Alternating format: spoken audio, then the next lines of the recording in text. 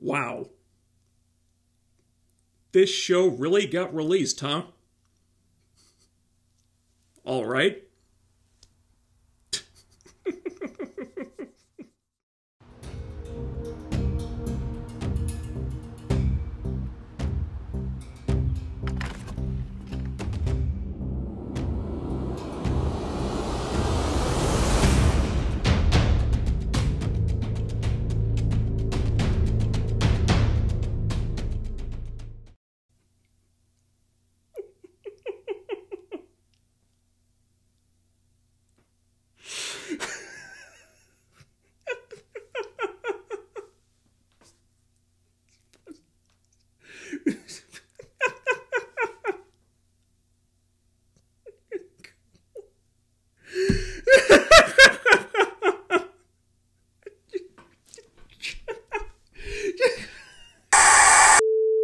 CW's Gotham Knight.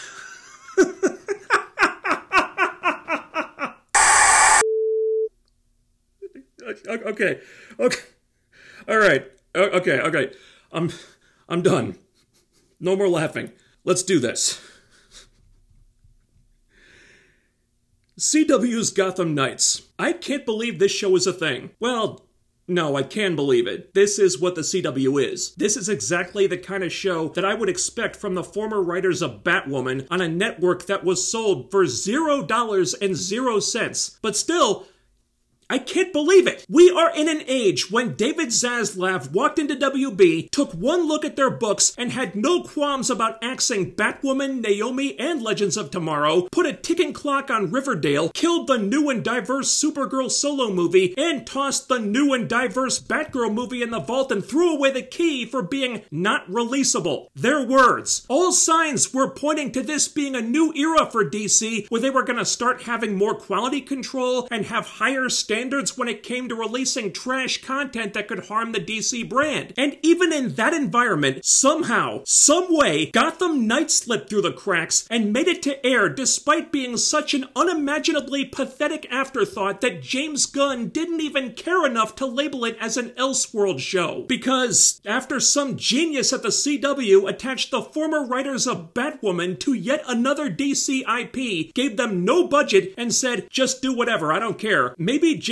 Gunn just wanted to stay away from this altogether and keep his hands clean. Can't fault him for that, I guess. I assume they must have been too far into production to stop it by the time Zaslav came in, but still, letting this schlock see the light of day, even if we are blaming it on your predecessors, not a good look, dudes. Not a good look at all. So I have little doubt what's gonna happen here. With the sale of the CW and future DC Studio shows apparently heading to HBO, I imagine they'll just burn off the episodes they have in the can and then that'll be it. But that doesn't mean we can't have some fun with it in the meantime. I mean, make no mistake, Gotham Knights is DOA like you wouldn't fucking believe, but if I can't get some enjoyment from poking its rotting corpse with a stick, then what's the point of me even being here? Anywho, the show begins with a narration by our main character and Bruce Wayne's son, Damian Wayne. Oh, no, wait, wait, wait, wait. I'm sorry.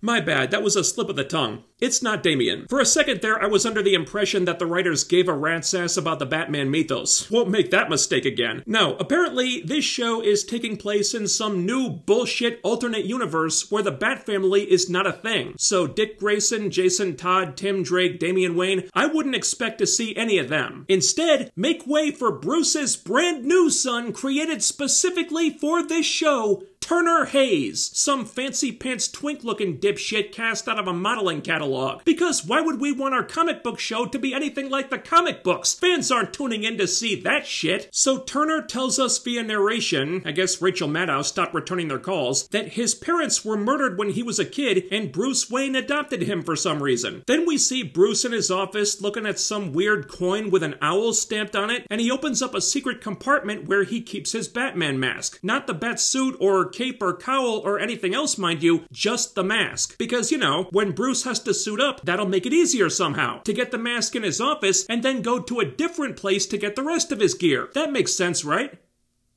Right? Then we meet Turner Hayes. And before we do anything else, like establishing characters or story or telling the audience why we shouldn't turn the TV off immediately, because we're on the CW, damn it, we gotta have a love triangle. I kid you not, it's the first thing they do. And to my great surprise, after three seasons of Batwoman, it's a straight love triangle. I know, right? I'm as stunned as you are. Turner defeats some plank of wood in a fencing match, and the plank of wood is surly about this because they're both lusting after the same hot blonde girl. Oh boy. Double digit ratings, here we come. But no time to elaborate on that. Turner's dad is out working late tonight, so you know what that means. Party at Wayne Manor, bitches!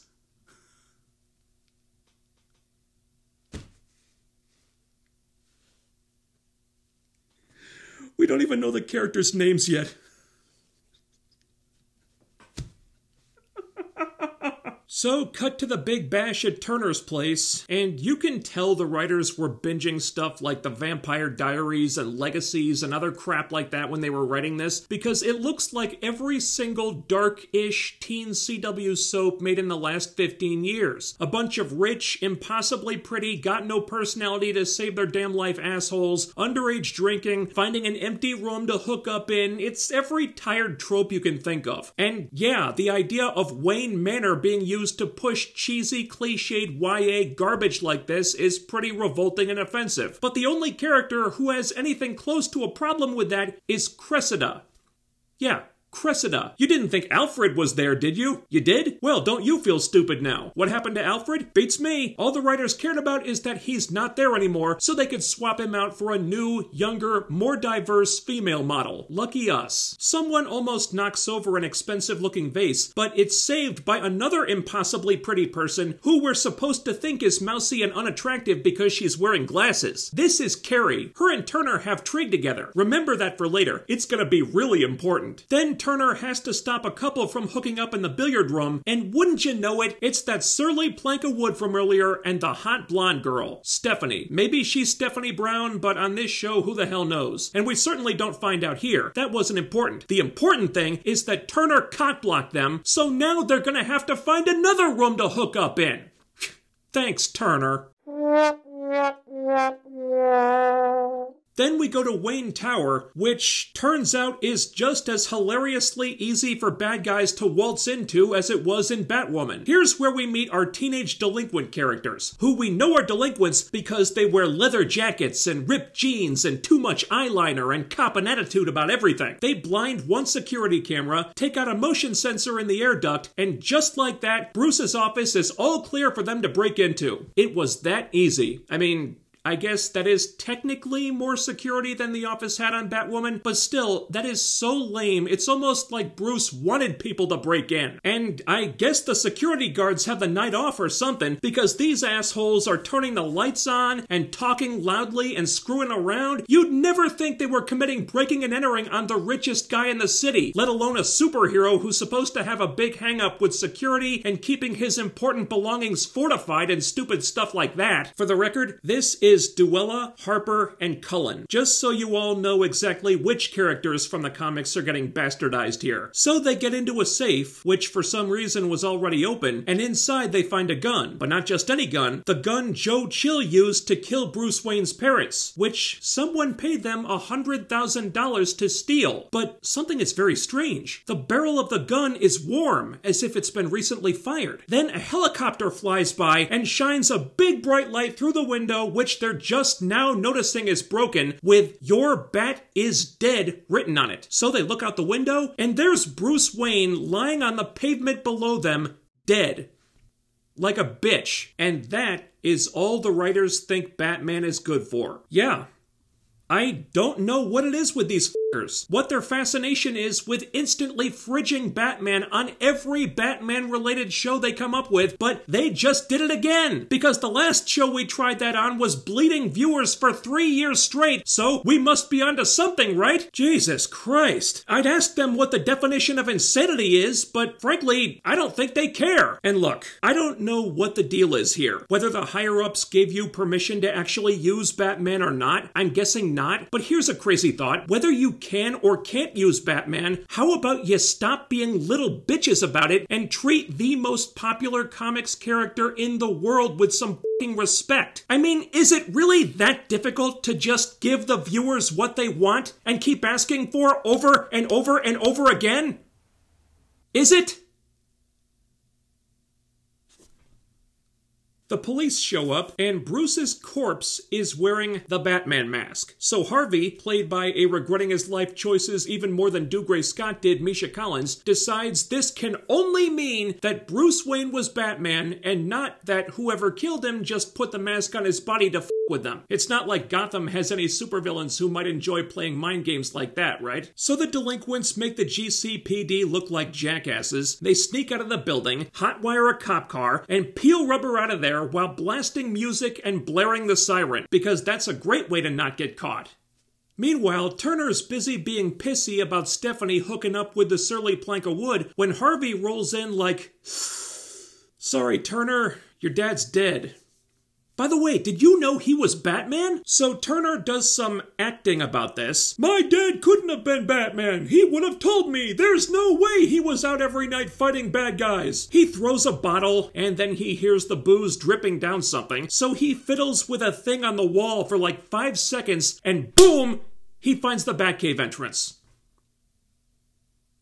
That's all it took. Are you noticing a pattern here? There's almost nothing original about this. All the unimaginable stupidities that made Batwoman such a fucking chore to get through they're all back. Bruce's office having an open door policy for any and all criminals. The Batcave being so secretive that you can find it by accident if you're just fing around in the right place. All this bullshit they just recycled from the other show. And frankly, CW, what the hell else were you expecting from these people? What was your thought process here? Did you figure, well, they shit the bed with their last Batman related show, but let's give them another one. Maybe they'll get it right this time. No wonder the CW never made a fucking dime. This network is raised failing up upward to goddamn Shakespearean levels. So Turner and Stephanie find the Batcave, which is probably where most of the show's budget went, and it still looks even less impressive than the one on Batwoman, and that was the cold open. They couldn't even wait 11 fucking minutes to kill Batman off. We're in for quite a ride, aren't we? The delinquents are arguing in their hideout about someone setting them up to take the fall for the murder. Duella set up the gig, but she didn't bother to find out who hired them or why because she's an idiot. Cullen is freaked out, but Harper thinks thinks this money is going to get them out of Gotham, so whateversies. And while they're doing that, Turner's giving some bullshit speech at Bruce's funeral, and it's supposed to be all profound and heartbreaking and stuff, but wow, the actor is not up for it. There's just not a lot to work with there, man. Not 15 minutes in, and I'm already missing Rachel Skarsten. Sure, Alice was a fucking train wreck, but at least Rachel was fun to watch. This kid, though,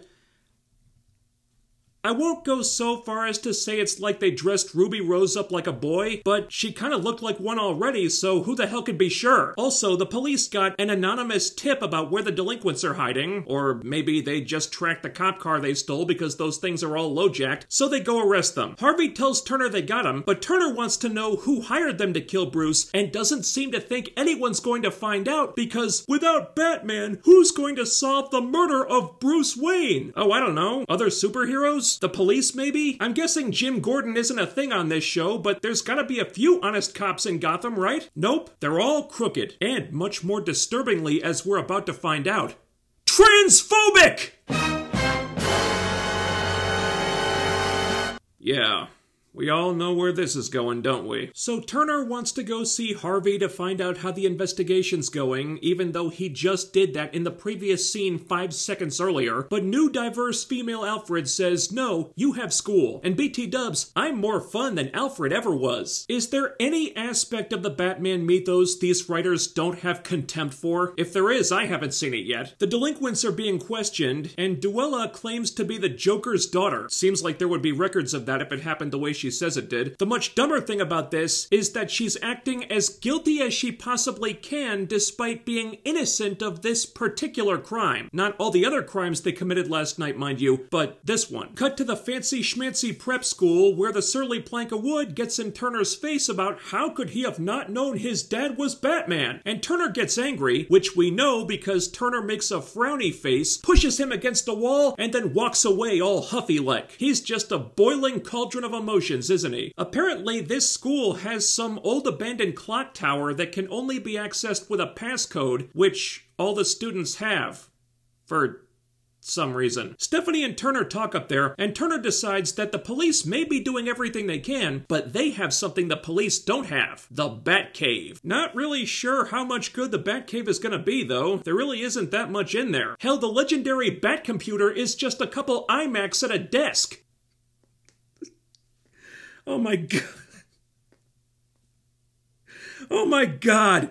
It's so fucking cheap. Even the Batwoman crew sprung for a set piece of some kind. This is literally just a fucking table with some Best Buy desktops on it. I don't even have to make a joke. I'm struggling not to bust a gut laughing just looking at this shit. So Stephanie is going to use the Bat computer to hack into Gotham National Bank. Oh, did I mention Stephanie is a hacker? Yeah, the show just dropped that on us right there. Because with no Barbara Gordon around, someone's gotta be the Felicity of Gotham Knights. God knows every Arrowverse show had to have one. And if not the blonde chick, then who? Back to the delinquents. Harper was a straight A student until the day her mom took off and her dad decided that he didn't like having a bisexual for a daughter, so naturally, she had to get her and her brother out of there. And the cop doing the interrogating finds her use of the B word a little suspect, which of course is how you know he's evil. Then, when it's Cullen's turn, Harvey has to chastise the interrogator for attempting to call Cullen by the name on his birth certificate. Oh, oh, oh no! I'm so sorry, Harvey! Is using Cullen's dead name offensive to the fucking murder suspect? Oh my god, what have we done? I mean, sure, we booked this kid for like half a dozen crimes, up to and including the death of Batman, but a cop having the audacity to call Cullen by his legal name? That son of a bitch! The police are the real supervillains, aren't they? But hey, it's cool.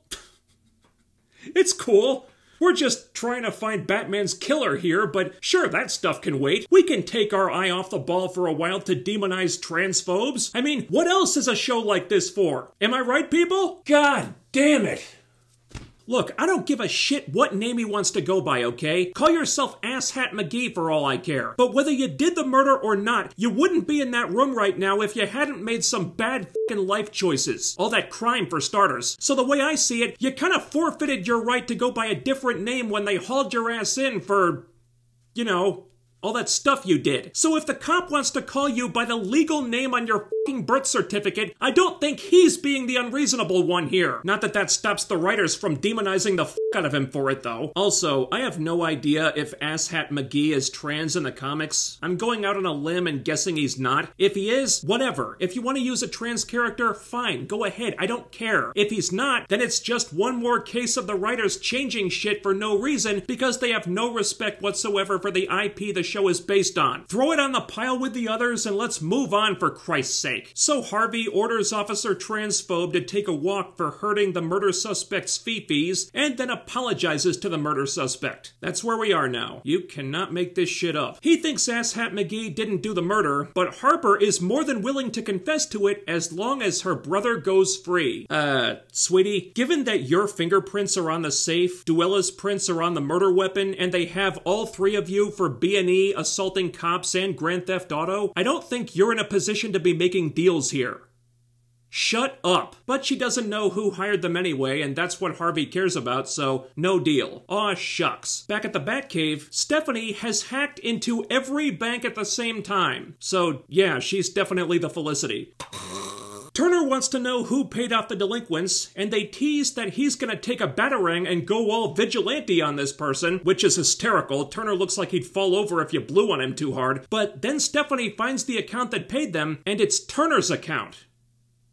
Cue the GCPD driving up to Wayne Manor to arrest him, and apparently they found Turner in the Batcave? How? Beats me. He was safely hidden down there, but they still walk him out of the house in handcuffs. Maybe he turned himself in voluntarily, but why would he do that if he knows he's being set up? This is fucking stupid! So now Turner's up shit creek, and we find out that three days earlier, Bruce had made an appointment to change the beneficiary on his will, so that's motive. And Officer Transphobe is under the assumption that motive and financial records pointing to Turner paying someone to kill his dad means that Turner probably paid someone to kill his dad, but it doesn't. In actuality, it means that Officer Transphobe is evil, as if him being a transphobe didn't make that obvious enough. Subtle, writers. Very subtle. Bruce's lawyers are refusing to represent Turner, so Harvey's his only friend here, but Harvey's having a hard time making a case for anyone else being the suspect. I mean, whoever it is has to be a transphobe, obviously, but that's all they've got to go on right now. He shows Turner the owl coin, but neither of them know what it means because, just like the writers, they don't read comics. Then Turner gets locked up with the other three, and it's here that we find out from Duella that Batman murdered the Joker off screen in this show too. So, no respect for Bruce's no kill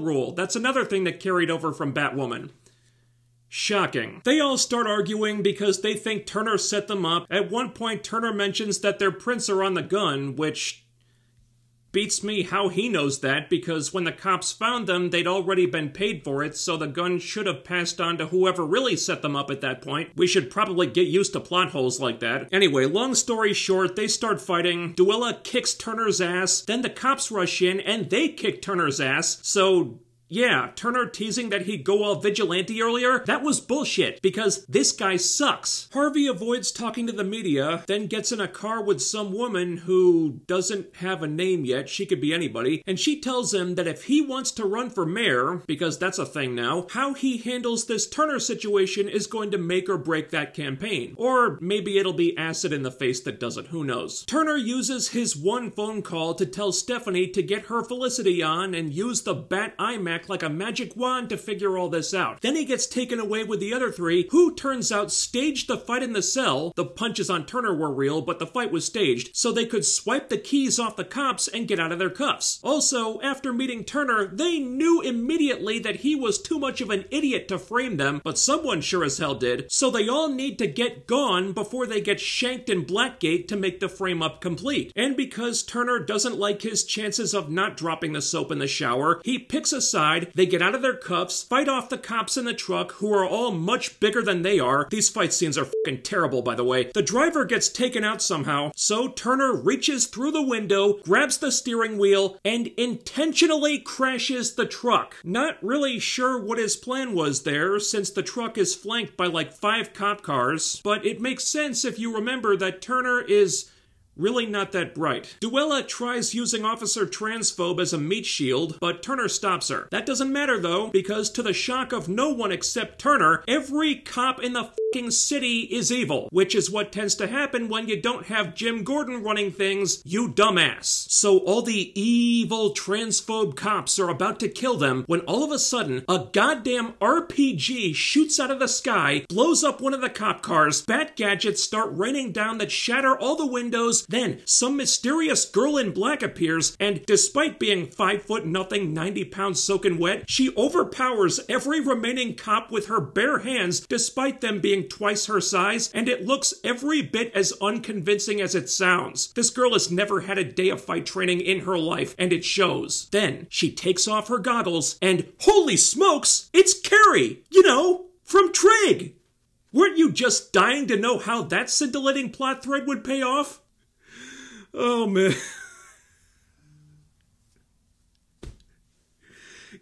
Can we talk about these action scenes for a minute? Look, the fights on Batwoman were never good, but there was a difference between the fights early in the show when the stunt team kind of gave a shit and the fights toward the end of the show when the stunt team had long since checked out. With the fights here, it's not that the stunt team checked out, it's more like they left the country and are watching the show from home, flipping the screen off and laughing at you. Sure, you did actually blow up the cop car. Okay, cool, but you did it with a weapon Batman would never use. The guy doesn't even use guns, but he's giving a 15 year old girl explosive military grade hardware? Off. So the day is saved thanks to Carrie, but she didn't bring the Batmobile. I mean, why would comics fans want to see that, right? No, she brought her mom's car, because that's much cooler. So Duella punches Turner in the face again for almost getting them killed, and away they go. Because Turner's an idiot, instead of finding a place to hide, they go to Bruce's grave, i.e., one of the first places the cops and the media would look for him. Brilliant. Carrie tells Turner how she became Robin. Batman got thrown off a roof one night, she dragged him to safety, and That was all it took. Doesn't explain how she's punching way above her weight class, though. Turner's still pouting about how his dad never told him about this incredibly secretive and dangerous thing that could have gotten Turner killed if he had known. Oh, boo fucking who. But Duella correctly points out that they're a little exposed out here, so maybe they should be somewhere else. And so Turner decides to hide them in the old clock tower at the school. You know, the one that all the students apparently have the passcode to. Wow, Turner is fucking dumb. So naturally, after Turner has been proven to be the stupidest person in the room multiple times in the last few minutes, all of a sudden, he's the one making all the plans now. Why? I don't know. Why hide in a place where you could be easily found during study hall when the students sneak up there to get high or some shit? I don't know. I get it if you don't want the delinquents crashing in the Batcave. Fine. But Maybe put someone else in charge at least? I mean, sure, none of these dipshits are gonna move the needle all that much when it comes to brain activity, but at least the delinquents have street smarts to some extent, and Carrie has weapons in her mom's car and shit. Doesn't know how to keep a secret identity though, apparently. But Turner is the stupidest, most useless person here! Why the hell is he giving the orders all of a sudden?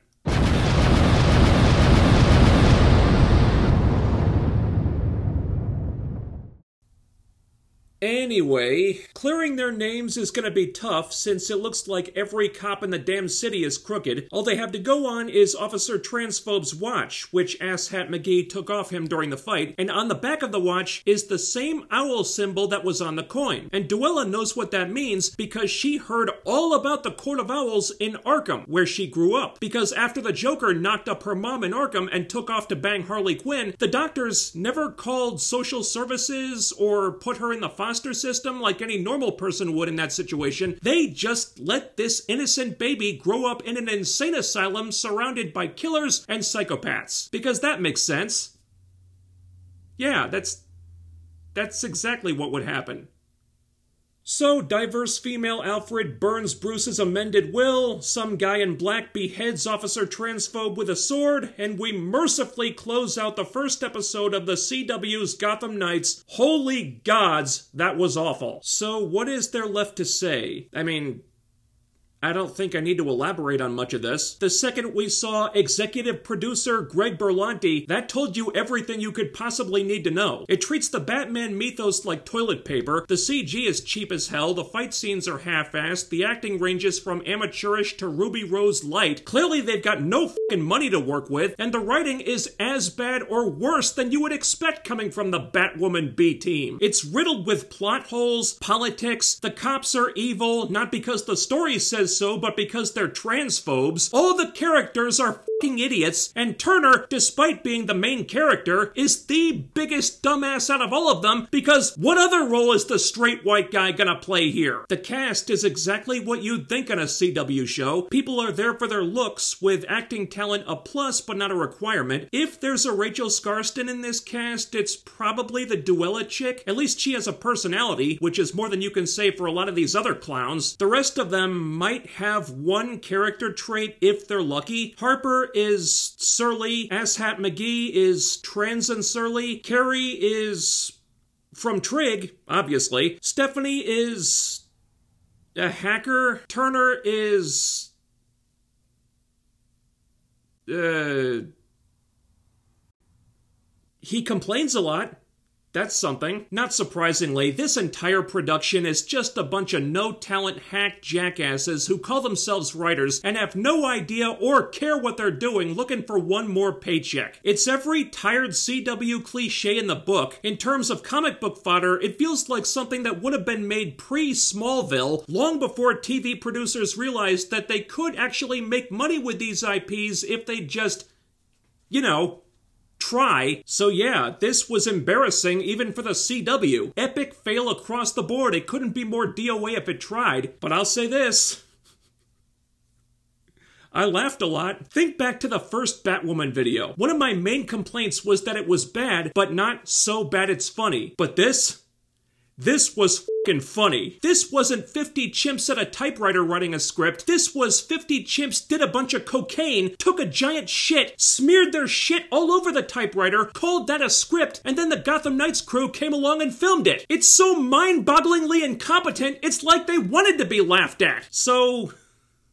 in a weird way, I actually kind of enjoyed myself here. And that's where I bring this to all of you. Remember how you made that first Batwoman video blow up? I need you guys to do that again. It might be hard, the algorithm's been kicking my ass lately, but I need enough views on this video to justify making more. I could use a few more laughs, so believe it or not, I would like to continue reviewing Gotham Knights. Sure, I may change my tune after a couple episodes, but damn it, I think this could be a lot of fun. So if you guys want more Gotham Knights videos from me, you know what to do. Also, do all the other YouTube things. Ding the bell icon, follow my social media for notifications when I upload new stuff. Links are down there. Thumbs up the video, subscribe, make sure you're still subscribed, and I'll be back with more soon. Take care, stay tuned. I'm gonna go watch some Batman content where Batman is actually fucking alive for a change. I'll see you next time.